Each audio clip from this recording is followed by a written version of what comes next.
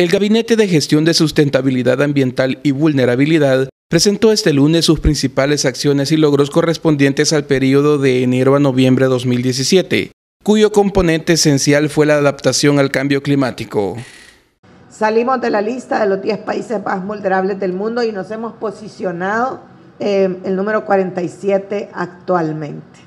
Nunca antes se había visto un gabinete en donde las obras públicas la agricultura, el turismo, el desarrollo territorial, el riesgo, la superación de la vulnerabilidad ambiental se vieran con una sola óptica. Y eso yo creo es el logro más importante. Y el segundo logro más importante es que este gabinete superó el trabajo de gobierno para resolver los problemas ambientales y llevamos nuestro planteamiento ante el Consejo Nacional de Sustentabilidad Ambiental y Vulnerabilidad.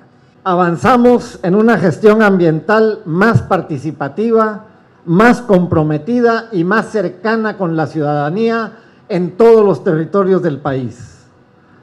También en una gestión más concertada y más concertadora. Los principales desafíos para el 2018 van encaminados hacia transitar hacia una economía y una sociedad ambientalmente sustentable y resiliente a los efectos del cambio climático, en temas como gestión de riesgo, agricultura, turismo, restauración y reforestación y acceso a agua potable.